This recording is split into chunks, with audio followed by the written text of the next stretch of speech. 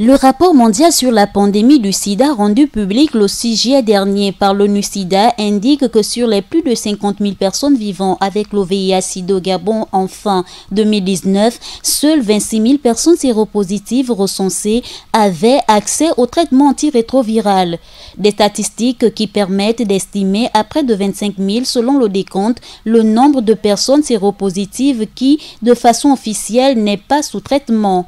Malgré les multiples campagnes de sensibilisation et de lutte contre le VIH-Sida à l'échelle nationale, ces données, mises en exergue par ce nouveau rapport mondial sur le sida, prouvent que la riposte épidémiologique dans le pays est bien loin d'être sous contrôle. Le dit rapport fait mention de 51 000 personnes vivant avec le VIH-Sida au Gabon, dont 45 000 connaissent leur statut sérologique. La branche onisienne en charge du sida, qu'est l'ONU-SIDA, fait état de 26 000 personnes séropositives soit 51% ont eu accès au traitement. Les 25 000 autres personnes séropositives n'ont pas été sous traitement selon les estimations, ce qui suppose que ces personnes ont tout simplement échappé, sinon disparu, des centres de traitement ambulatoires.